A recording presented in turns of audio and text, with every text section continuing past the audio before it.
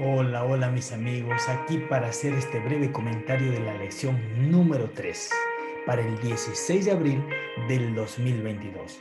Caín y su legado. Todos de alguna manera dejamos un legado en esta vida, algunos positivos y otros negativos, pero Dios nos ha dado la libre libertad, el libre albedrío, para que tú y yo sepamos elegir y tomar la mejor decisión de la vida. No importa si las personas dejaron un mal legado.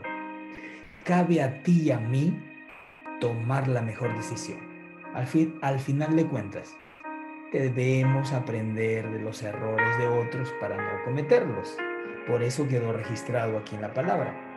Mira, la lección de la escuela sabática hace un, un comparativo entre el capítulo 3 y el capítulo 4 de Génesis. Por ejemplo, hay palabras comunes, como por ejemplo la descripción del pecado, las maldiciones de la tierra y la expulsión. Finalmente, se presenta como la alegría de nuestros primeros padres cuando nace su primogénito pensando que se estaba cumpliendo la profecía de Génesis 3.15. Y más adelante los siguientes eventos como el crimen de Caín, el crimen de la Mec, la disminución de la longevidad, el aumento de la maldad, todos estos son cumplimientos del capítulo 3. Sin embargo, no todo está perdido. Acompáñame brevemente para poder ir ya a la primera parte de la lección. Aquí he colocado el texto bíblico de la nueva Biblia al día que tiene un lenguaje más juvenil.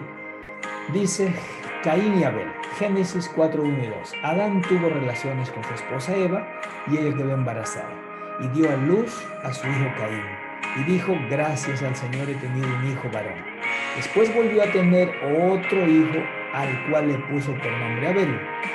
Abel fue pastor de ovejas, en cambio Caín fue un agricultor. Veamos aquí una traducción literal, más cerca del original. ¿Cómo sería? Y Adán conoció a Eva, su mujer, y concibió y dio a luz a Caín y dijo, he adquirido hombre a Yahvé. Ella creía que el cumplimiento del Mesías había llegado. Era una esperanza muy grande que ellos tenían en este su primogénito. Sin embargo, podemos corroborar aquí también en el hebreo, cuando hablamos de Caín, la palabra en hebreo es caná, que significa adquirir y denota una adquisición, pero de una posición de algo precioso y poderoso. Toda su esperanza estaba centrada en este primogénito, creyendo que había nacido el Salvador del mundo. Sin embargo, el nombre Abel en hebreo es Ebel, significa vapor o soplo y denota evasión, vacuidad, falta de sustancia. Sin embargo, sería una decepción grande, porque en lugar de ser el salvador del mundo, este hijo se convirtió en el primer asesino de la tierra, matando a su propio hermano. Qué triste. Vamos a ver la segunda parte que dice las dos ofrendas. Después de algún tiempo, Caín le dio al Señor una ofrenda de lo que había cosechado. Nota, una ofrenda de lo que había cosechado, o sea, trabajo humano, de sus obras. Por eso que la ofrenda de Caín representa esfuerzo humano, obediencia por obras. Abel le dio una ofrenda al Señor, le ofreció las primeras y mejores crías de sus ovejas. Piensa conmigo, ¿qué hace un pastor para que la oveja para, para que nazca un corderito? Nada, solo cuidar, alimentar. Esta ofrenda es una ofrenda de obediencia, de justicia, de fe. Al Señor le agradó a Abel y a su ofrenda. Nota que primero Dios se agrada de la persona y no de la ofrenda. La ofrenda está en segundo plano. Porque finalmente el resultado de la ofrenda es el resultado de cómo está tu corazón, querido, querida. Y no se agradó de Caín ni de su ofrenda, por eso Caín se enojó muchísimo y andaba amargado. Yo tengo aquí una cita del Espíritu y Profecía que dice en Patriarcas y Profetas que había una grande diferencia entre el carácter, el carácter de Caín y el carácter de Abel. Eran muy distintos. Dice Abel poseía un espíritu de lealtad hacia Dios.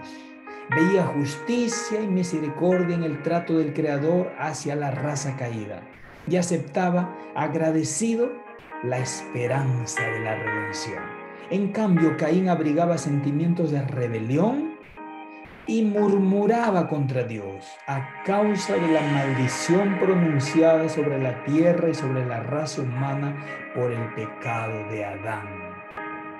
Mira, aquí está la grande diferencia de un verdadero adorador.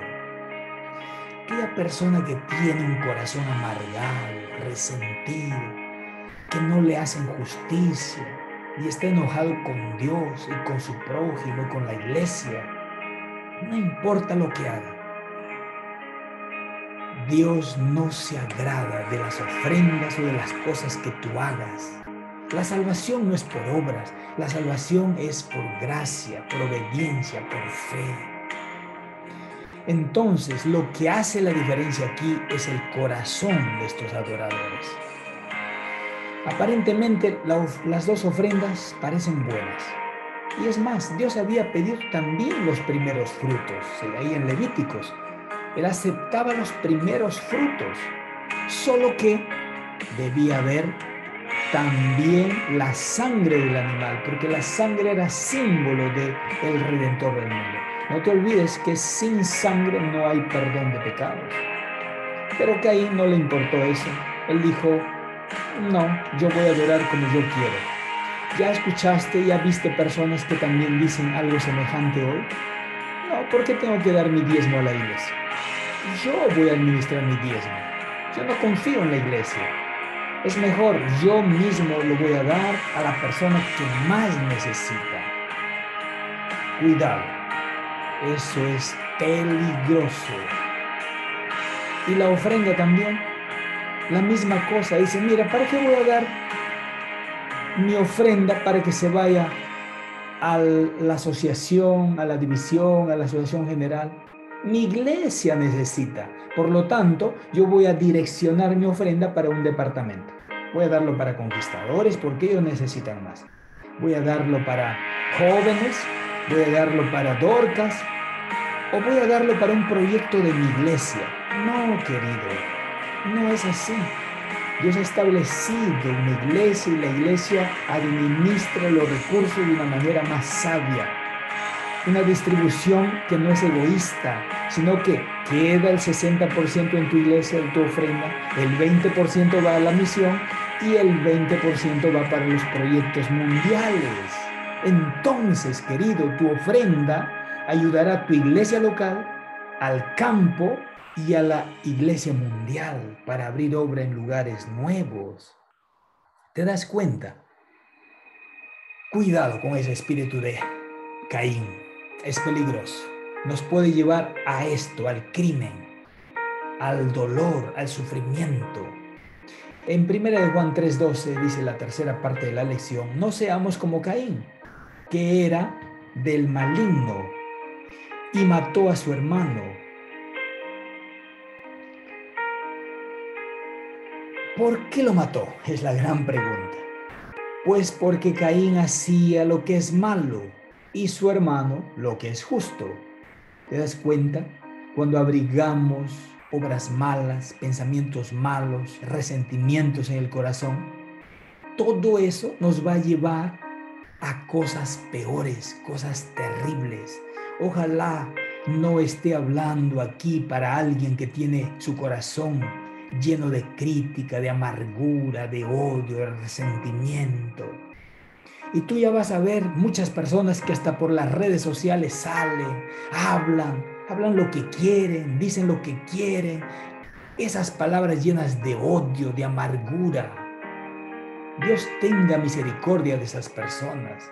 No se arreglan los problemas por las redes sociales, querido. Si tú ves que alguien está mal, búscalo, Anda, habla con el pastor, habla con el líder, busca la iglesia. La iglesia tiene sus normas, sus principios, de acuerdo a la Biblia, al manual de iglesia, los reglamentos. No es como tú quieres, es como Dios quiere, querido. Cuidado porque puedes caer en el mismo crimen por las obras malas que permanecen en tu corazón. Dios tenga misericordia de nosotros y podamos tener el espíritu de Abel. Podamos movernos por la fe y por la justicia. De lo contrario, podemos llegar a hacer obras malas. Podemos alejarnos de Dios y ser insensibles. Mira, Dios no acabó con Caín inmediatamente Dice el Espíritu Profecía que Abel hizo todo lo posible para convencer a su hermano que él estaba errado. Le dijo, mira, Dios es bueno. Hubiesen matado a nuestros primeros padres tan pronto comieron el fruto, porque así él dijo. Pero mira cómo ha tenido misericordia en preservarles la vida. Y al contrario, nos ha dejado una esperanza de que enviará al Salvador del mundo obedece. Pero Caín en lugar de escucharlo y obedecerlo, dice que se amargó más contra Dios y contra su hermano y lo mató. Ese es el pecado contra el Espíritu Santo. Cuando tú cierras tu mente, tu corazón y ya no eres sensible a la voz del Espíritu Santo. Vamos a la cuarta parte de la lección y dice el castigo de Caín. Génesis 4, 9 y 10 dice, poco tiempo después el Señor le preguntó a Caín, ¿dónde está Abel tu hermano? Mira, Dios viene al encuentro. Y Dios no vino inmediatamente. Dios le dio un tiempo a Caín para que reflexionara, para que meditara en lo que hizo. Y él viene y le pregunta. ¿Dónde está Abel tu hermano? ¿Acaso Dios no sabía dónde estaba? Claro que sí. Recuerda que Dios usa el método de las preguntas. ¿Para qué? para que reflexionemos, para que meditemos, para que pensemos en lo que estamos haciendo. Caín le contestó, no lo sé. ¿Acaso tengo yo la obligación de cuidar de mi hermano? Este es el espíritu egoísta.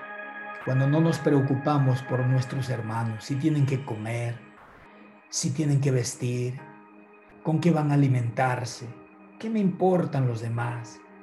Este es el espíritu cainista. Por eso, mi amigo, mi amiga, mi hermano, nosotros deberíamos visitar, preguntar, hermano, ¿tienes que comer? Todos están bien, todos tienen alimento y ese es nuestro deber. No quedarnos ensimismados, callados y nosotros disfrutar de la vida y los demás que me importan. Cuidado. Pero el Señor le dijo, ¿qué hiciste? No te engañes a ti mismo, hijo, hija. ¿Qué hiciste? Desde la tierra la sangre de tu hermano me pide justicia. La sangre fue maldecida por la... Perdón, la tierra fue maldecida por recibir la sangre de su hermano Abel.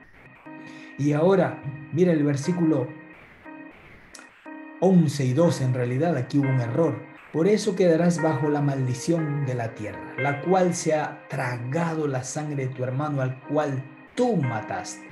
Cuando trabajes la tierra no te dará cosechas. Vivirás en un mundo como fugitivo, sin poder encontrar descanso.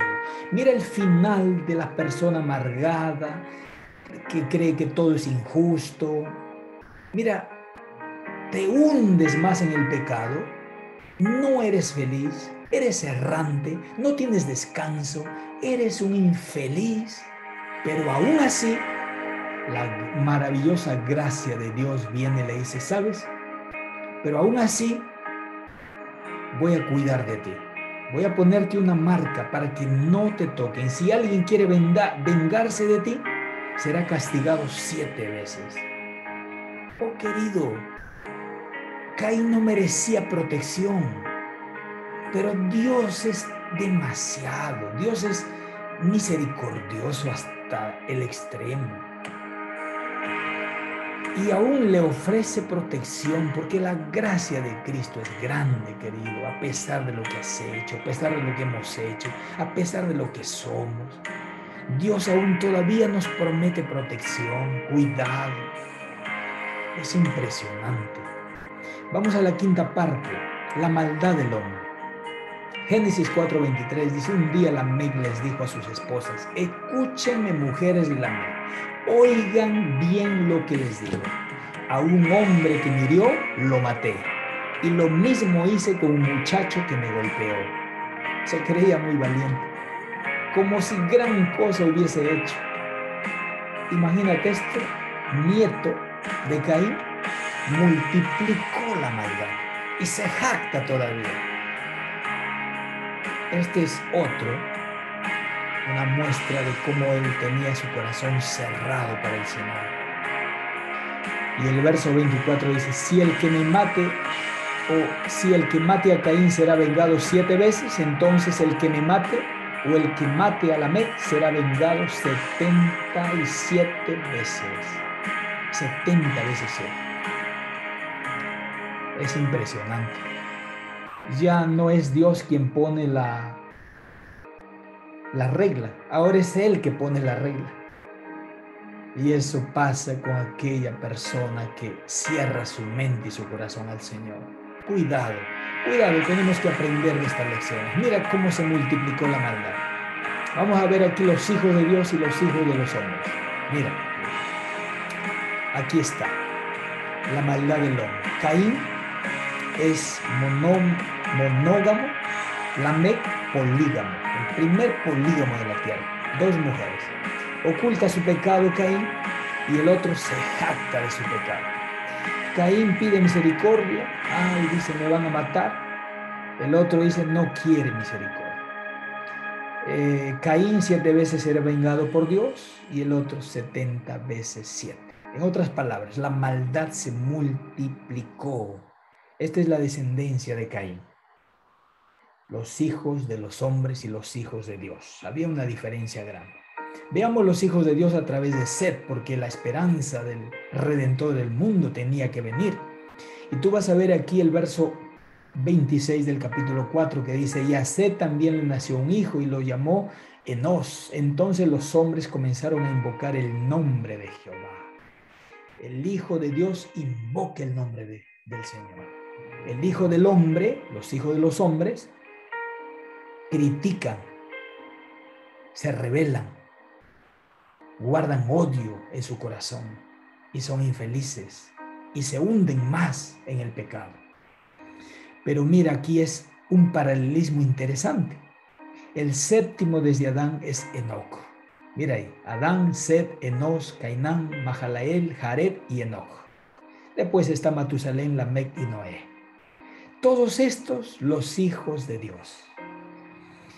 Y los hijos de los hombres, Adán, Caín, Enoch, Irak, Mehujael, Metusael, Lamec, Jabal, Jubal, Tubal, Caín. Pero hay interesante, algo interesante.